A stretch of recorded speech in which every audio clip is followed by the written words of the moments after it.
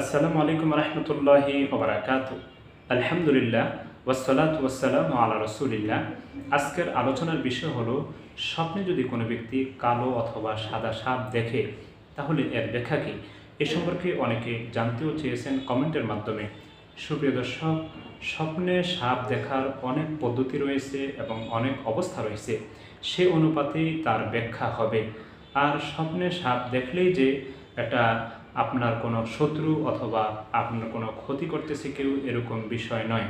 স্বপ্ন, সাপ দেখার একটা অর্থ এমনও হতে পারে যে আপনাকে ভয়ভীতি দেখানো শয়তানের পক্ষ থেকে বা আপনি কোনো টেনশনে আছেন চিন্তা আছেন, এটার কারণেও হতে পারে।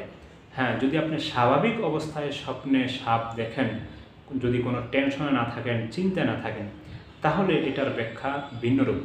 তো দুটি রূপ নিয়ে আজকে আলোচনা করব। একটি হলো যে কোনো ব্যক্তি যদি স্বপ্নে দেখে তার আশেপাশে ঘুরঘুর করতেছে, কালো সাপ, আর সে ওই সাপগুলিকে নিজের আয়ত্তে এবং নিজের অধীনে রাখার চেষ্টা করতেছে, আর সাপগুলিও কোথাও দৌড়ে যাচ্ছে না, আর সাপে তাকে কামড় দিচ্ছে না এবং সেও সাপকে মারছে না।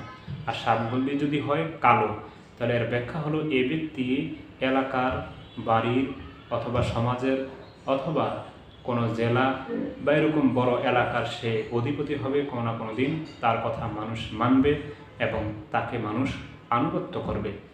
আর যদি সে স্বপ্নে দেখে সাদা সাপ, অর্থাৎ সাদা সাপ তার আশেপাশে গুড়গুড় করতেছে, সেগুলোকে নিজের আয়ত্তে রাখার চেষ্টা করতেছে, এগুলি সে যায়ও না এবং এগুলি তাকে কামড়ও দেয় না, আবার সে ওগুলিকে মারে না, তাহলে এর ব্যাখ্যা হলো এই ব্যক্তি অনেক সম্পদের মালিক হবে।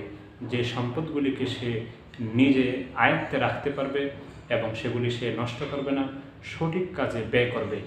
আশা করি আপনারা এই দুটি স্বপ্নের ব্যাখ্যা বুঝতে পেরেছেন। আশা করি আপনারা যদি আপনাদের কোনো স্বপ্নের ব্যাখ্যার প্রয়োজন হয়, তাহলে অবশ্যই কমেন্ট করবেন। আসসালামু আলাইকুম।